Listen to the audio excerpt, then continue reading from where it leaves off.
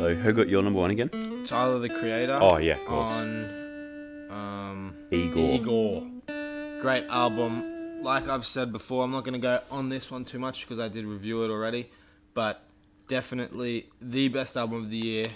Potentially could have been tied first last year too with uh, Kids See Ghosts on Kids See Ghosts.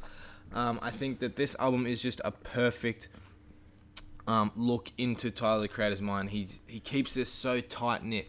He's talking about this same um, person. It's believed to be a man throughout this whole album, um, and it's just such a a great look into um, like a spiraling madness of someone that's in love with someone that they can no longer have.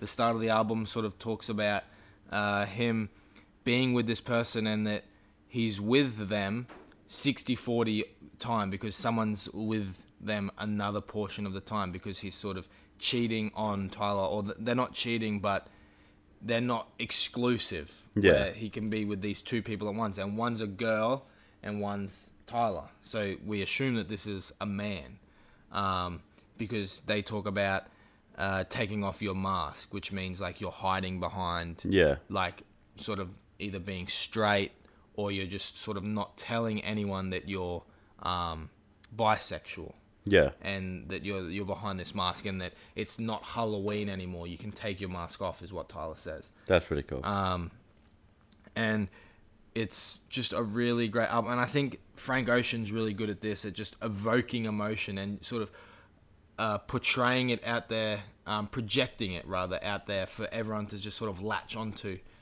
And when he talks about um, n- no longer being in love with this person because of all the pain that he's been through, and that he he still wants to be friends with this person, and how before he was head over heels in love, and now he just is almost numb, like he can't feel any pain, and everyone can sort of relate to this uh, if you've ever been in a relationship that's gone wrong. That like how obsessed he was with with this person, and how Yeah.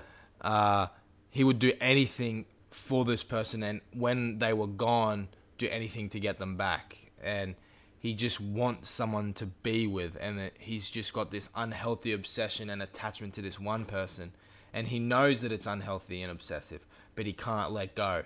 And that's a really great story to be told throughout a whole full length album. It's like 45 minutes or whatever it is great album 10 out of 10 for me favorite songs on there are earthquake um, new magic wand and the one with kanye west which is called puppet. Uh, three really great um, songs but the whole album is a 10 out of 10 there's not a song i would take off. All of them interlink with each other. It's none of this just random songs throughout, which I think a lot of albums are these days. No one really consistently, not even the greats, can consistently keep one theme throughout, and Tyler did it so well here. So, congratulations, thank you, Tyler. Your album Igor is my number one for the year. I'm looking forward to see what you can do next year. If you release anything, Flower Boy was 2017. This was 2019. Maybe we're gonna have an off year from you, but Yeah. we'll see what happens.